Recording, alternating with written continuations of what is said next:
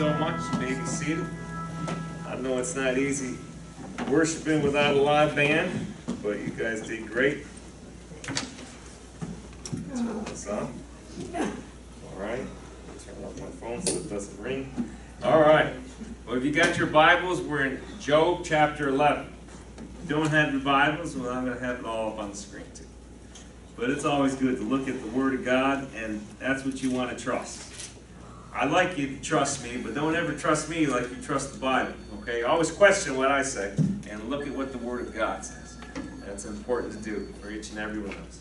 But here in the book of Job, now everybody's been with us the whole time, so I give a quick summary. Okay? As I keep giving a quick summary, I am really going to know the book of Job, and so will you by the end of this, uh, our, our time through Job. But here Job was the most righteous man on the face of the earth. He was upright, he was blameless, he was a man who turned away from evil and feared God.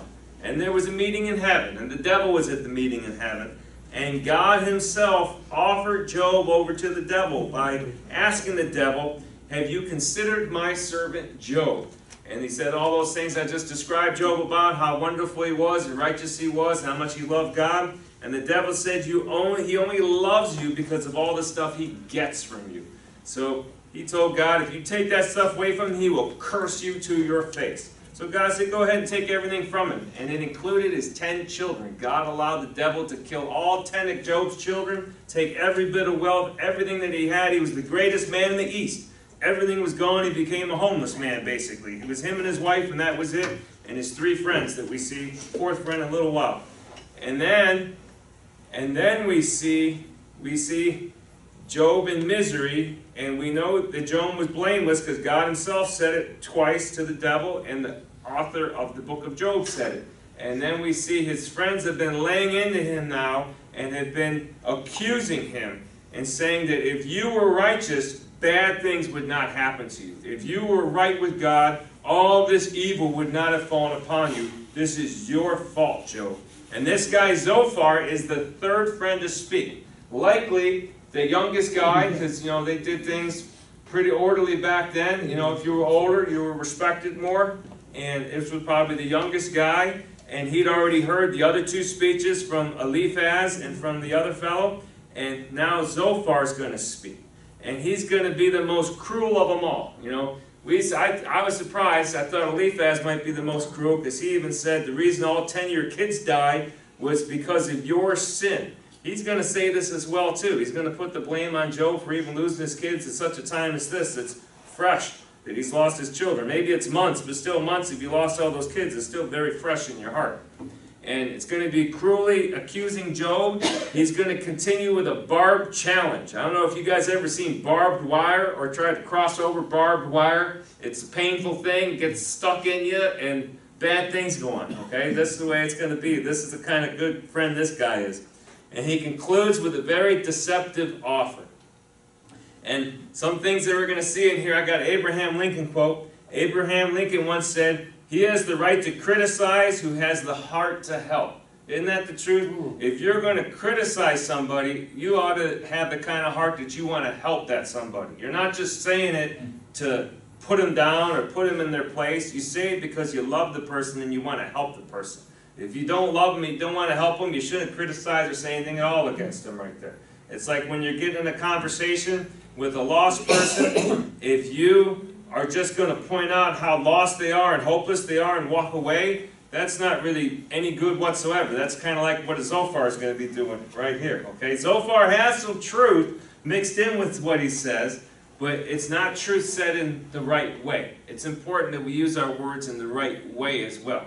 All right, and I tell you, to me, that makes all the difference. Is if someone's heart is there to help me, to love me, to try to guide me right there, I am so much more receptive to it myself. Even if they are different than I am or opposed to me, if I know that their intention is so honorable and good and that they want to love on me and help me and truly, even if they're wrong, they're going to catch my ear and I'm going to be much more in tune with them and I'm going to be much less defensive. And truly, if you catch somebody being defensive with you as you share the gospel, you may want to think, you know what, am I saying things in such a way that's really punching them? maybe I have to tone down and ask them, you know, like, hey, I'm not trying to hurt you, I'm not trying to be mean, I'm trying to love you, I truly honestly believe this, and I want to share it with you. And maybe that'll help them respond as well. That's what Abraham Lincoln said, I think it was good saying. And I also wrote, we need to be warned most forcefully against Job's comforters because they are so like us. And this is the truth. As we see this, we might come along aside one another, and we may think how bad Job's friends are, but maybe we're like this to one another sometimes right here. We've got to be careful not to be, all right? Uh, one theme we're going to see throughout his talk is the theme that what a wonderful life the Christian life is. If you do good, God will bless you. If you don't do good, God will curse you and give you bad things. That is not true at all, okay? I used to have a book for the visitors. I got to get these books again for the visitors. Maybe I still have one. I got to look. But it's Ray Comfort book, and it says it says the wonderful Christian life, and then it says the myth of the modern day message, and it has the guy on the front being stoned to death, who's the Christian. This is what it's like when you become a Christian. It's not like you become a Christian in the, like the TV shows and all of a sudden you're healed and you're wealthy and everything's so wonderful for you. A lot of times things will get worse for people when they become a Christian. Okay? This is not the way it is. And Zophar has this attitude as well too. Okay? The last guy that talked had it as well. When he told Job, and we think even maybe Job might have had that attitude. He's not going to have it after long, after all this keeps going on. But the attitude that if you do good, you get good. If you do bad, you get bad. There are truly many situations, even in the New Testament, you know, where Jesus talked about, like, what about the Tower of Siloam and how it fell and it killed 18 people? You know, like, you know, you know, what, what happened to those guys? You know, they just, were they all bad guys and the tower happened to fall on them? No, that's not what the impression was right there. Or the fellow that was, was, was born uh, lame, blind, and 38 years he suffered until Jesus healed him. And they said, What was this? His father's sin? His sin? He's like, No, no, it's just so the glory of God may be seen right here. 38 years that guy was in that situation. All right? You think of Joseph, who, who really loved his dad, really loved his brothers, and for 20 years, okay, gets thrown away as a slave and a prisoner. And in the end, it, he knows that God did it all for his glory, that it was all on purpose for the way God wanted it to be. All those things go against Zophar's uh, picture of the way things ought to be. And it's definitely not how you come along somebody comforting people. By the end of all these sermons we're talking through Job, we should all be better comforters, okay? We should know how to come along, folks, and love on them a whole lot better. So Job chapter 11, verse 1 says, Then Zophar the Naamathite answered, Shall a multitude of words go unanswered, and a talkative man be acquitted? What a mean thing to say. All right, if you read the, if you were here last week, and if you go back and you read Job chapter 9 and Job chapter 10, Job is honestly just pouring his heart out before God. He's in pain, he's hurting, things are so rough on him. And he's saying, like, you know, what have I done? God, please tell me if I've done something wrong, have mercy on me. And this guy tells him, you know, you're talking so much. Should a guy like you that talks so much not, not be found guilty, not be pointed out for his, his, his, his wrongness? This is how Zophar starts. And uh, so this is what he says, and what, what a cruel way. I mean, it starts off with bitterness. Maybe you talk to folks and the conversation start off with bitterness. That's a sad way to start off a conversation, all right? Nobody should be starting a conversation like that. It says, Shall your boast silence men and shall you scoff and none rebuke? You have said, My teaching is pure, and I am innocent in your eyes. So, so he, he's, he's really putting Job in his place right away, and he tells him, he says, uh, he said, basically when Job replied to Eliphaz, he kind of agreed with everything Eliphaz had said about him. I mean, because he had that same mindset, and he was, he was in pain. And Zophar thought that Eliphaz for sure had spoken for God. You know, maybe it's like if you see a, a, young believer, a young believer will maybe say, well, this pastor said this, or this guy said this, and they'll hold on to it the same way they hold on to Scripture.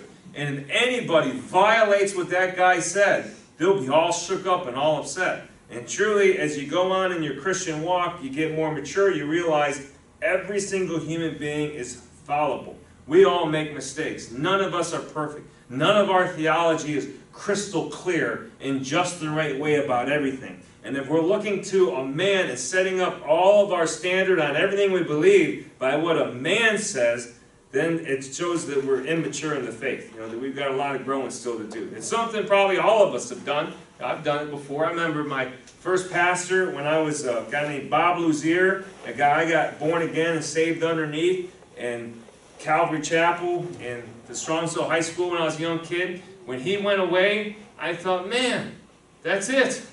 My, my prophet for God, my speaker for God is gone from my life. How am I gonna, I'm never gonna be the same again. I'm never gonna grow. He had it all right. This next guy, he's all right, but he doesn't really have it like the last guy had it. Because I'd learned to just hear his voice, and that was it. And I bet you Zophar, what commentators think is true, that he was the youngest guy, he probably looked at Eliphaz like one of those type of guys. Like Eliphaz knows what he's talking about. He told you this stuff, Job, you better listen, because you're wrong, and he's right.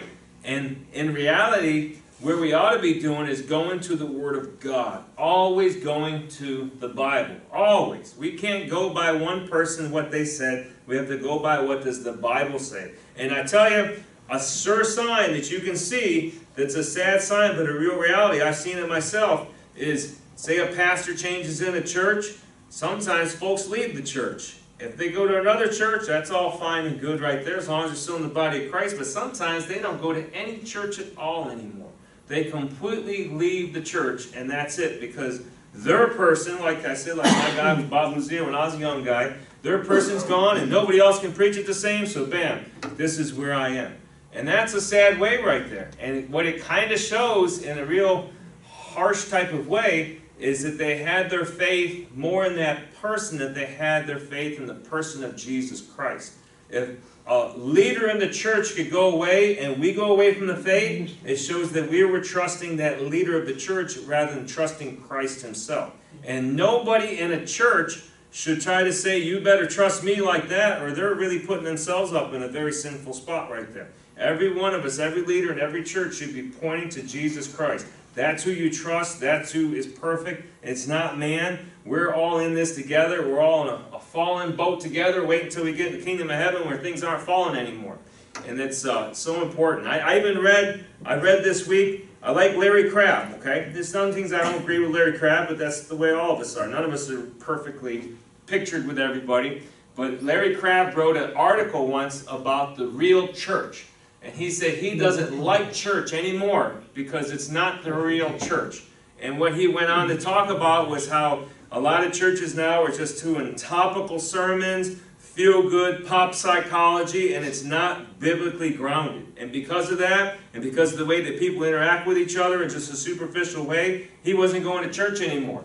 And I thought, I hope he still was because he's a great fellow. I hope this is just how I understood the article in the wrong way. But I thought, how many people do go like that? And I think, I think for Zophar, Eliphaz was like that. And that's why he says these things to him. He says, Shall your boast silence men, and shall you scoff and none rebuke? For you have said, My teaching is pure, and I am innocent in your eyes. Truly, he kept asking God, what is it that I've done? Because he did not know of what sin that he did. And he did think, well, maybe some sin did cause all this trouble for me and on my family and everyone. Mm-hmm. And he was asking God from the bottom of his heart. He wasn't trying to be malicious. He wasn't trying to hide. He wasn't flawless, okay? If you read Job 7.21 and 10.7, he admits he's not flawless. He admits, you know, he's a messed up fellow just like the rest of us are. But he wasn't in some kind of blatant open sin that he could think about that would have caused all these troubles. But Zophar tried to say he was. And he says, But would that God might speak and open his lips against you. So Zophar wanted God to silence Job. You know, he's like calling down the fire from God on Job, saying, Would that God would shut you up and would shut your mouth and you wouldn't be able to say anything. And truly, we talked about it really is kind of a lament, the Job chapter 9 and Job chapter 10. And if you read the Bible, you go, I always encourage people, read the Bible, read the whole way through. A lot of the Bible has lament. A third of the Psalms is lament. It's people broken, crying out to God, saying, Why, God? Why are all these horrible things going on? People lamenting. The book of Jeremiah is full of laments. Okay, the book of Lamentations is a book of lament from Jeremiah. There's a lot of lament. God wants us to lament, to come to Him, to cry to Him, to go to Him in our pain, to acknowledge our pain, and to call it out. And Zophar's basically saying, won't God just shut your mouth and get you to stop talking? That's the worst thing you can say. Imagine if you go along somebody's somebody you know who's in some bad pain and you just say, oh, that God would just shut your mouth. Talk about cruel and harsh. I'll tell you what, the conversation probably wouldn't continue on in any nice way. After you said that to somebody, you really burned a lot of bridges if you say something like this, okay? Even if they are speaking nonsense or craziness, you would never say this to them like that. All right? So Job 11:6 says, And show you the secrets of wisdom, for sound wisdom has two sides. Know then that God forgets a part of your iniquity. And truly, you know, we're talking about secrets of wisdom. I think we talked about some last week. Uh, my friend Tony always says in our Bible study, uh, Deuteronomy 29, 29, the secret things belong to God. Indeed, there's things that we can't understand. Things that are beyond our depth and our reality that we can know. We just have to trust God for those kind of things. So he's maybe touching on that a little bit, but truly, both of these guys needed wisdom. Both of them really could have been helped if God would have let them see in that heavenly realm of Job chapter 1, Job chapter 2, with what was going on and how it got started, and how God himself had given him over to the devil, and God himself had said Job is a perfect type of fellow. He's flawless. He's, he didn't say flawless, but he's upright. He's blameless. He's, he uh, calls upon the Lord. He runs away from evil. If both of them would have seen that, Job and his friend, the conversation wouldn't have been going here. But God didn't give him that privilege. God did not let Job know what had gone on. Job was where he was. And basically, when he says God forgets a part of your iniquity, he's saying it's your fault that your family's dead. Basically, God killed your family because of your sin, but you should be happy it's not worse. You should be happy you're still alive right now. This is what he's saying. This is how Job would have heard when he says, Know then that God forgets a part of your iniquity. He punished him for some of it, but he forgot a part because Job's still alive. Talk about harsh ugliness right here, okay? This is terrible. I, I think I've told you guys before about this preacher. He made an impression on my life, but in a bad way that I don't want to ever be like, is he was in Florida and he had a, a reformed church and he preached so hard. He had his doctorate in preaching. He had all A's from Dallas Theological Seminary and all these other good places that we all respect. But he preached so harsh with no love that it didn't come across any kind of way except for that harsh, judgmental type of way. And if I listened to this guy's talks, I couldn't find something that was wrong with it. It was right in what he said, but it was how he said it that was so wrong. And truly, I think that's what's going on Zophar. How he's saying this is just so wrong. He says, Can you discover the depths of God? Can you discover the limits of the Almighty? They are high as the heavens. What can you do? Deeper than Sheol. What can you know? So he is pointing out how great God is. And indeed, God is so great, okay? And, and, he, and he's pointing out that we're all finite and limited. But he's showing no mercy at all for Job as he's doing this. He's almost doing it in a way, as you read this chapter, if you go back and just read it like a, a story as you read it through, he's almost saying like, I know all these things better than you, Job. I know this stuff, you don't, let me teach you these things. That's kind of how he's coming across. And that's never a good way to come across. I really think the best way we help other people in life is we come alongside those people in life. We don't come from like a top type of way and say, I know everything, you don't know anything, let me tell you everything. All right, that doesn't usually go across too well. But when someone comes alongside you, it's beautiful. Actually, another way to help folks that I found is you ask questions. Is you see something and you really maybe not agree with or something, but instead of telling them how wrong they are, you just ask a question. Let them think about it. Let them wonder and think, huh, you know, I don't know how I'd answer that. Rather than tell them something and you get no answer and all the defensive stuff goes up. Next verse, its measure is long than the earth and broader than the sea. If he passes by or shuts up or calls an assembly, who can restrain him? So God, Job already knew that God was infinite, and God is the justice standard, and he's accountable to none. That's what that's what that says. If he passes by or shuts up or calls assembly, who can restrain him? Talking about God, it's saying nobody can make God pay for anything. Nobody can truly even question God. Nobody can really hold God to accountability. God is above everything. There isn't like another check. I had a young fellow, a young 11 year old guy I taught theology with at times. Not my son, another fellow. And he says to me, he said, well, somebody had to make God. There's no way that God could be without somebody making God. and I said, no. I said, this is what you got to understand is God is God. He's always been. No one has ever made him. It's, it's way bigger than that. You've got too small of a view of God, okay? Well, the view of God here is correct. You know, nobody can call a courtroom or something. Job does, he calls for a courtroom and God gives him his time, but God doesn't answer one of his questions, and he asks him like 66 questions, and Job can't answer one of them. And then Job humbles himself at the end of the book. That's what's going to happen at the end. So God will give him his time, but it's not in the same picture that Job had, okay? Not in the same picture at all. So, so, we, so what he's saying is correct here, but the way he's saying it and the place that he's saying it is awfully harsh for Job. For he knows false men and he sees iniquity without investigating. An idiot will become intelligent when the foal of a wild donkey is born a man. When he says this thing about a wild donkey being born a man, this is a direct insult against Job. This is basically saying, Job, you're a witless man, and there's as much likelihood of you being wise as a donkey. That's what he's just told Job right to his face. Talk about an insult, right? And you, you don't, you don't, it doesn't help people when you insult them that harsh. And He's basically saying you need to understand God like I understand God. Like I have the right interpretation, and you need to get my interpretation of God. This is this is what Zophar is doing to Job. He says, if you would direct your heart right and spread out your hand to Him, like if you would pray, bring out your hands to God and pray to Him. It says, if iniquity is in your hand, put it far away and do not let wickedness dwell in your tents. So he's telling us specific steps on how to repent.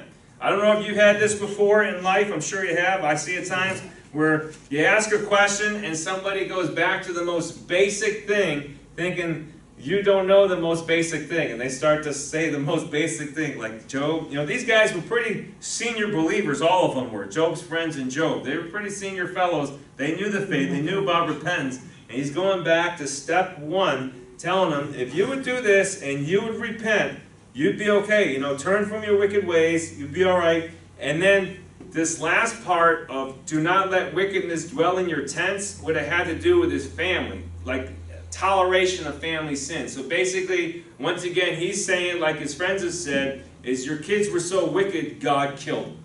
And that's what happened to your kids. And it was because you tolerated their sin and let that sin go on. So look what happened to it. It's your fault that your children are dead. You should have done something about that.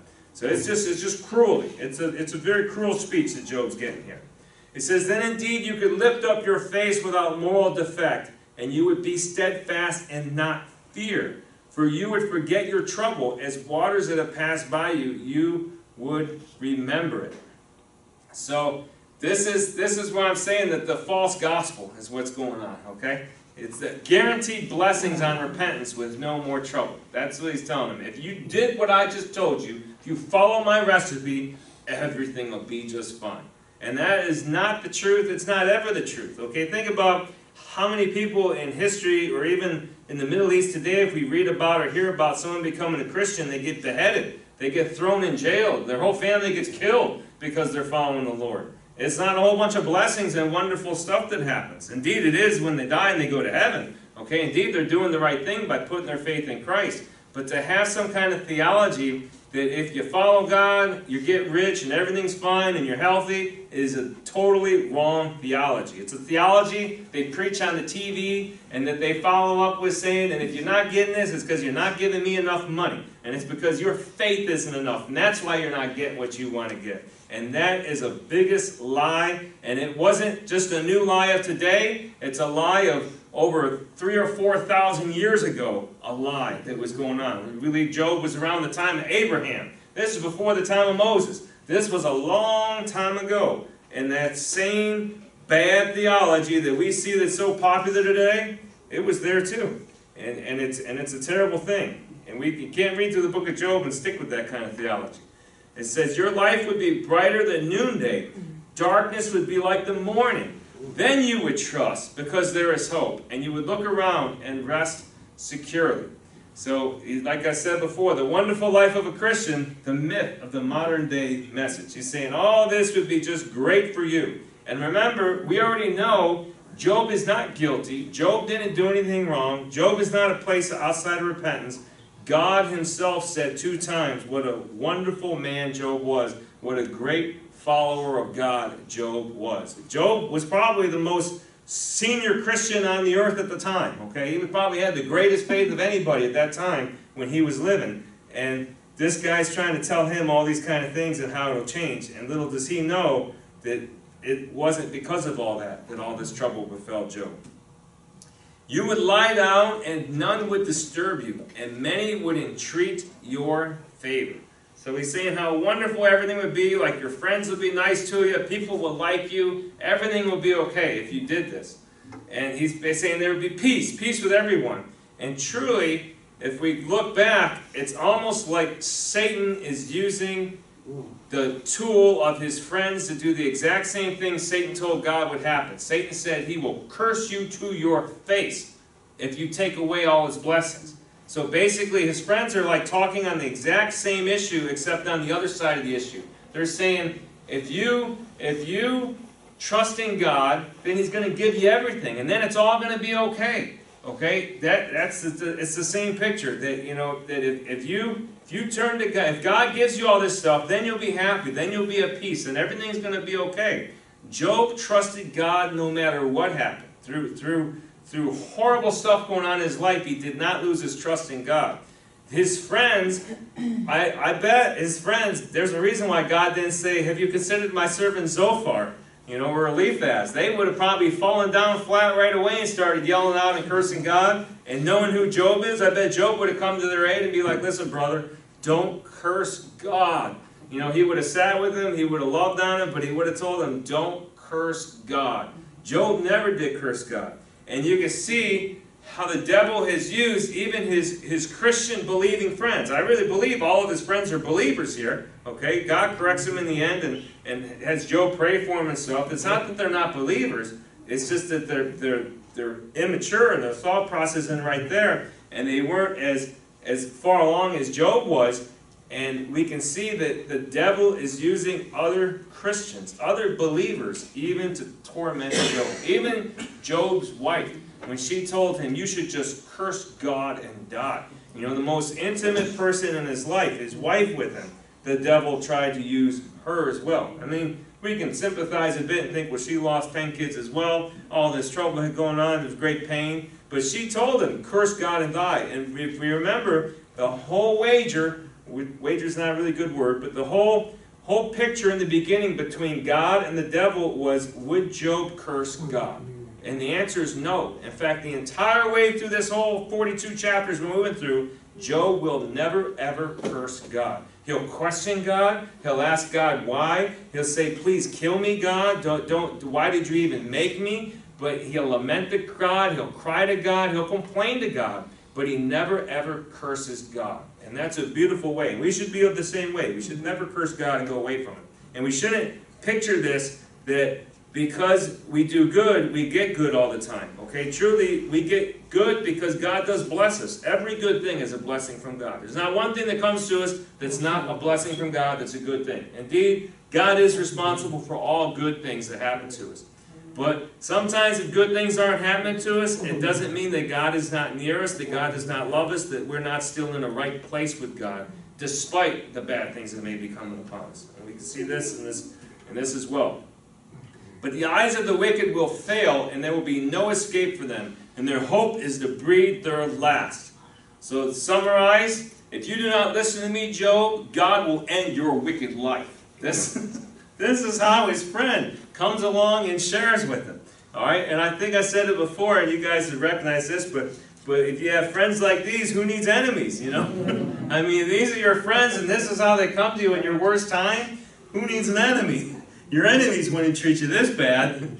All right, they may not talk to you too much, but they wouldn't lay it into you more and like stick you full of daggers. And uh, that's what his friends did.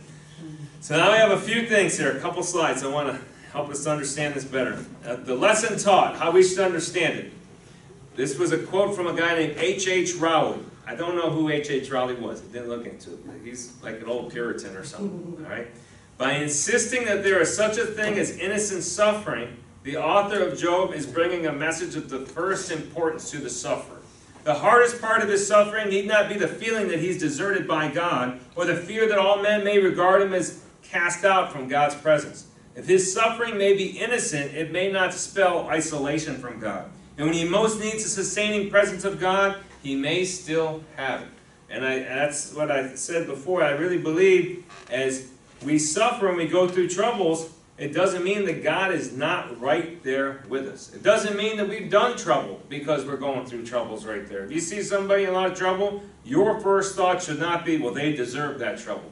Or they did something to cause that trouble to them. If you did, if that's your thought, you are kind of thinking the same way Eliphaz is and Zophar is. We shouldn't be thinking that way, okay? We should be coming alongside folks, and we shouldn't be saying it's just all their fault, and that's why they're having so much trouble. Truly, I have heard some stories of suffering that are intense from folks, and I read about it in books and things, and I think these guys really suffered, and it's a, such a sad thing. And, and it's not anything that they did, it, and God's still right there with them, and God still loves them so much right there. And we gotta we gotta realize that our times of suffering, God still loves us. He loves us, and He's present. He's right there. How to speak in love. I got three slides on how we should speak in love. This will teach us how to help others. Speak of God's love. Zophar was all justice and no mercy. We should never be like that. Okay, truly, the more I mature in the faith, the more I realize it's all mercy and grace. It's not me, it's not what I do, it's not my faith, it's all God's mercy and all God's grace. And the more I mature in the faith, the more I realize how unworthy I am and how much greater grace and mercy that God has that He loves me. And truly, that's, that's what I will see as we continue to grow. It says he presented, represented a high view of God, but he failed to emphasize that God is patient and tender toward his people. This is a truth that we must bring out to others. We who love the sovereignty of God, as Zophar did, must be equally quick to point out the sympathy of God. When people are hurting, they need to hear about the unconditional love of God for them. We must remind troubled souls of the love that God extends to those who suffer. It's like, uh, like the gospel. It's like Romans 6.23. For the wages of sin is death. Indeed it is. Sin brings death. It brings horrible things. But the second half of the verse, but the gift of God is eternal life through Christ Jesus. The Bible doesn't just leave us with judgment without hope, and neither should we as we come alongside other people, all right? And if the people are already suffering and in all this trouble, they already feel the judgment of God probably, and they're in that bad a condition. You've got to come inside with that unconditional love of God and show it to them. If the people are, are up on pride on maybe a mountain of their life and a bunch of falseness, maybe you do got to point out a lot of sin and how we all fall short of the glory of God. But I always try to point out that we all do. I don't point out you do. that doesn't work out too well, okay? I point out that we're all sinners and we all fall short of the glory of God. I don't say you are sinner and you fall short of the glory of God. Right away, defense wall goes up, okay? And then always we want to share the love of God. So we, we can see that in that first one, how to speak in love is we got to speak love with mercy as well. You know, speak about God's love as well. Number two, speak about God's justice. God can be just, trusted to do what is right. This was also missing from Zophar's message.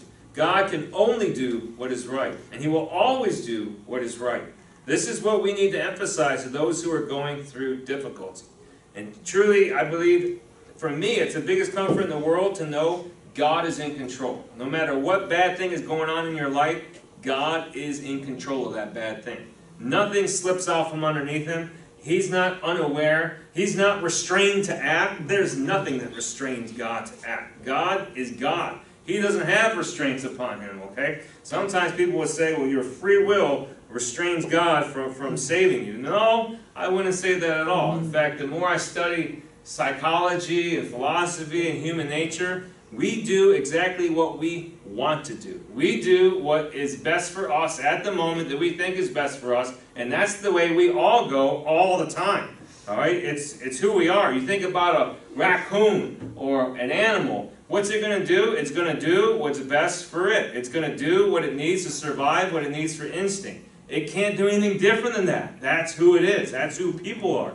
We can't think that our free will will keep God from doing anything, and I have to somehow figure out a way to have a different will. I mean, we can't do that. God can act, God can do anything, God is always right, and God is always present. You know what we can do? Is we can ask God for mercy. We can ask God to help us. We can go to Him. And in doing that, probably, I'd say, I think a big picture of all the trouble and all the evil in the world, is I, especially as I read the Bible through, probably that's what God wants us to do. He wants us to trust Him. He might allow horrible things to come into our life, not so that He can punish us and give us a tit for tat and things. I really believe God is love. I believe God is doing it so that He can get people to turn toward Him, so that they would bow the knee, that they would trust Him, that they would cry out to Him and say, God, I don't know what else to do. I need you, God, in my life. And I really think through the whole book of Job, we don't really see an answer. I mean, you guys are thinking, what's the answer? Maybe you're not really going to get a real answer in the whole book of Job for why the suffering went on. But one thing it does say at the end of the book of Job is that his faith had increased. His, his, the trust and everything after God got bigger through all of this stuff. And truly, that was the blessing right there. That was the blessing through all of it, despite all the harsh stuff right there. But we can know that God is always right, and we can trust Him and know that He's there, and we can know that there isn't anything that we could be doing that would stop God from doing what God is going to be doing. Okay? I'm telling you, it's a big picture, and God's God's love is way bigger than that. And God knows our human nature. He knows our will. He knows how He made us. He knows how He made every animal that's out there. And He loves us so much. And that's why He sent Jesus Christ to die for us and pay the price for us that all the sin that we went off and did because of our sinful human nature was paid for by Jesus Christ on that cross. Gone, delete, obsolete, wiped out, never to return again. Every single bit of it because he loved us, because he knew we couldn't do it on our own. There was no way anybody could do it on their own. If anybody ever preaches to you and says that you are the one who will save yourself, that you are the one it, basically, if people start preaching sinless perfection, that you can live life without sinning, dead wrong. They've gone against Scripture. They've gone against John 1 8, 1 John 1 8, 1 John 1 10. There is nobody that is without sin. There is nobody that goes through life without sinning. You may think, well, I don't sin like that guy does. Well, somebody else is going to look at you and say, I don't sin like that guy does, okay? We all get plagued and we all have troubles and we're all at the mercy of God and God does do what is right and He's full of love. And this is so important. Here, the last point here, we should speak of God's peace. In the midst of every fiery trial, God provides a supernatural peace that surpasses all understanding. This must be spoken of to hurting hearts. But Zophar said nothing of this inner tranquility to Job. As we minister to those who are undergoing life's adversity, we should be quick to speak to them of the divine serenity that can only that He can only provide. Be an encourager of discouraged souls, offering God's peace. There is a peace. I tell you, when I pray for folks, I think of that place in Philippians that it says, Give me the peace that passes all understanding. And you know how that peace is brought about as you read in Philippians and go search around it? Through prayer. You start praying, and that's when you get the peace. Your situation may not change. The trouble may still be being piled up on top of you. But in the midst of all that, you can have peace. And we didn't hear that in his thing. Basically, we heard you're going to have a great life and nobody's going to uh, uh, be troubled and everyone's going to like you, Job, if you repent. He wasn't really talking about God's peace. All right? You can't say that kind of stuff. You can't tell somebody you know, if you repent today, you'll get up from that wheelchair and you'll walk, okay? And that'll be the way. And if you don't, then you know what? You really didn't believe enough because you didn't walk.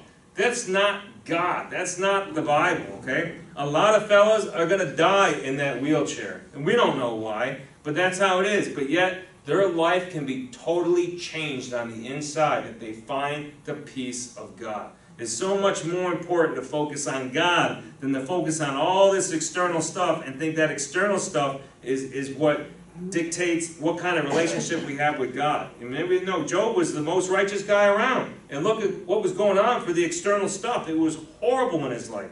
But he had God and he still had God through and through all this. And even where he may have complained or questioned God or wanted a courtroom, God was merciful to him. God gave him a chance to talk, but said first answer my questions, and he can't answer see? But he shows him how much he loves him, and he comes back and he takes care of him.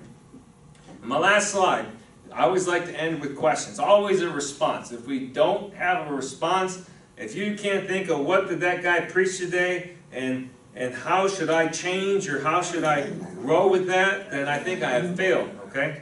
So this, that's why I always put this last slide as a response. And my first question is always, do you love Christ? That's the most important thing. First two greatest commandments, love God with all your heart, everything that you got. Do you love Christ today? If you don't have that, you can't have anything, okay? It's all a miss. You've lost everything if you lose Christ. He is the most important thing of all, have your faith in Christ. And the second most important commandment, Jesus said, is to love your neighbor as yourself. We can see in this picture that Zophar really didn't love Job as himself, okay? Or maybe he did, but he was just too immature to, to know any better at the time. His walk in Christ, that's the best he could do. And I wrote, are, are you a clanging cymbal? When you read 1 Corinthians chapter 13, verse 1, it talks about how all these great things, you know, faith, hope, and love, and you can have everything in the world, but if you don't have love, you're just a clanging cymbal, okay? And truly, Zophar had faith in God. You know, he knew who God was. He talked about him. He had hope. He thought things would get better for Job if he repented and followed God, but he didn't have love for, for Job. You didn't see the love shine through. And we have to make sure that love is of a top priority. And something else we ask ourselves, do I patiently listen to a hurting friend before offering counsel? A lot of times, I'm quick to talk. Over my life, I keep trying to teach myself to wait and listen before I talk. All right? I know it's a weakness with me. I'm a talker. I got to be careful as a talker. All right? I think I, I see people that are introverted and real quiet sometimes as a real blessing because I'm like they're just sitting there and thinking about things. And when they do speak, it's something pretty profound usually. It's something deep. All right? But I got to always be careful myself. I'm a talker, and I've got to be careful to listen to the whole picture. I tell you, it really hurts me inside if I start trying to tell somebody something before I really have heard them out, and they're like, no, no, you got it all wrong. This is what it is. And I'm thinking, oh, how did I even think I knew something? Because I didn't listen. Do I lovingly correct an erring brother or sister when he or she questions God? And the question is lovingly, okay? It is lovingly to correct. It is lovingly to, to point out Scripture and to teach truth. By all means, that's lovingly. But the, the, the key adjective here, adverb, is lovingly. Do I do it lovingly or do I just like slam them, okay? You know, do I start shooting darts into them and stuff or do I come alongside them right there? Zophar didn't do it lovingly, all right? Do I seek to understand the physical, mental, and spiritual pressure people feel when they are under great trauma? And this is a picture that I, I learned myself a lot from. If you can try to put yourself in somebody else's shoes and think about what would it be like to be them right now, to be in their situation, to, to, to put their circumstances around them, put the things in life that happen on them, put them, how they grew up, and put them all the different things on them, and think, man, it gives you mercy. It gives you empathy, is what that does. And empathy is truly what we all ought to be seeking all the time, especially when we come along other people, is empathy. Not sympathy. Sympathy means, oh, sorry about that. No, it's too bad for you. That's sympathy. Empathy is that you feel it with them. You understand. And you know how you can kind of work and exercise empathy? Is as you go through life and everybody talks about stuff, and you hear somebody talking about somebody else, and you think, you know what?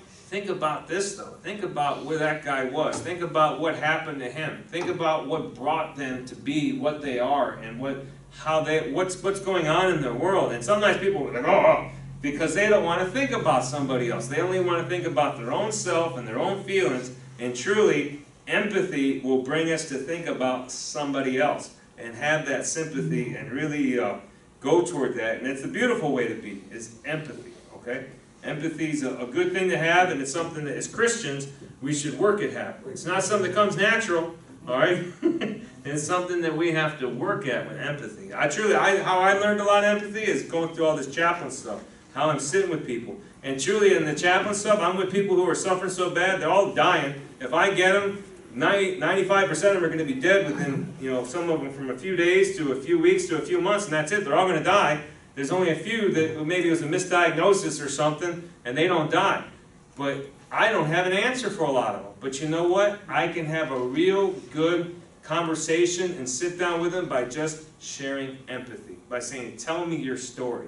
Tell me more about that. You know, let me hear about that pain. And I listen. I hear someone say an emotional word, an emotion. I say, tell me about your anger. You said you're angry. Let me hear more about your anger.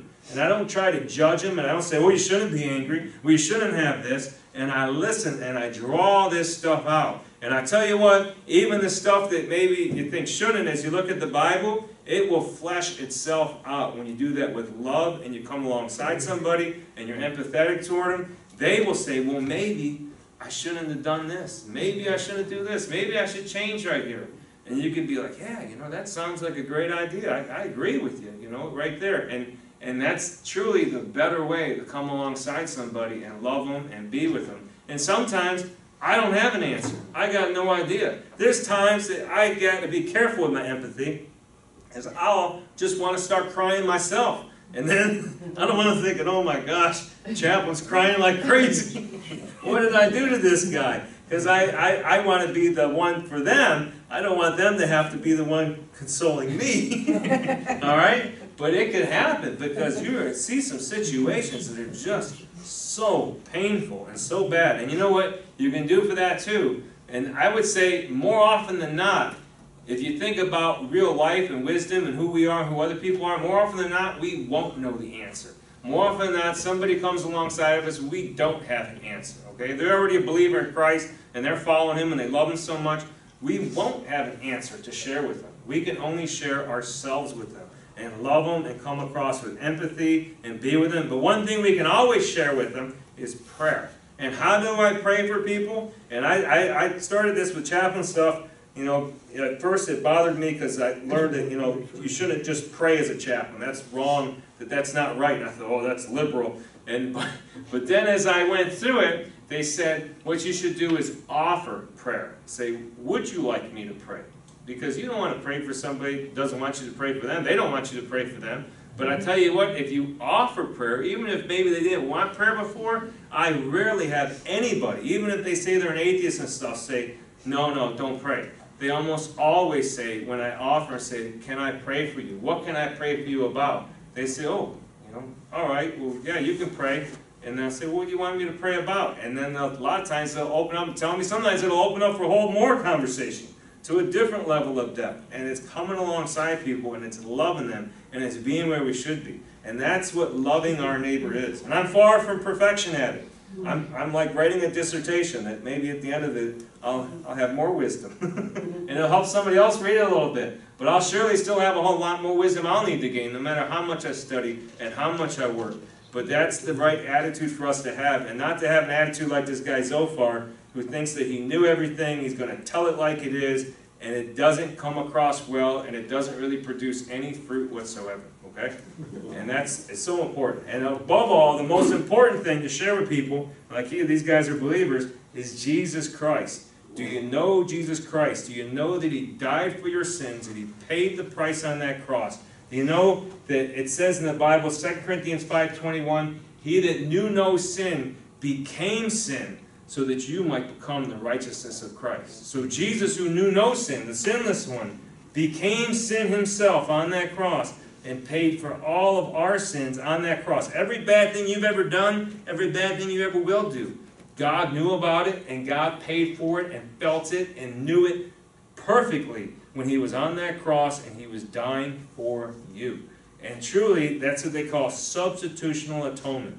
That that I always picture. I love. I like Ray Comfort. Around him a couple times a day. I usually don't bring him up every time. I don't think, but but he said once. He says, just like you're in a courtroom, and you're standing there guilty, okay. And as that guilty one standing there, the judge is about to sentence you to death or to prison in life, and all of a sudden Jesus comes in and says, Step aside. He goes, I know he's guilty. I know the bad things he's done or she's done.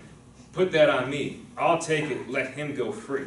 And truly, you think about Barabbas, Barabbas was a perfect picture. I don't know if Barabbas ever was a believer, but it was a perfect picture of what happened. Barabbas was a guilty, evil, sinful man that was supposed to be crucified, and instead of him dying, Jesus died. And it's truly the same way with every one of us. And when we understand that, and we repent, and we believe in Jesus Christ, and we realize we deserve nothing but death, but yet God gave us life in Jesus Christ, that's where salvation starts, right there. When we truly understand that, we start to put our trust in Jesus Christ, and we start to follow Him from there on out. And that's the beauty of the gospel. And the gospel is worldwide and always perfect to share under any circumstance. So even though I talk about all these other things, by all means, you spend some time first, maybe letting somebody share and get the stuff out. But at some point, share the gospel with them. Share about the love that Jesus Christ has for them. And don't point the fingers at them, but share the love that Jesus Christ has for them.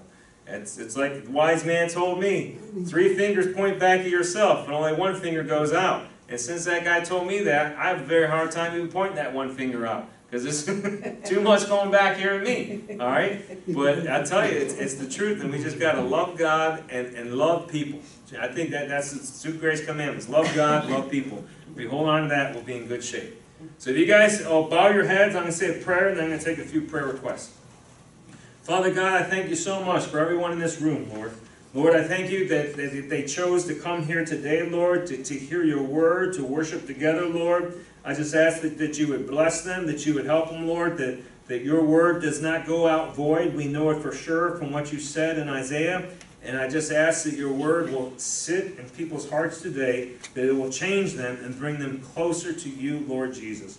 Lord, I ask that you protect each person here, Lord, that you do bless them, Lord, that you do put a hedge of protection around them, Lord.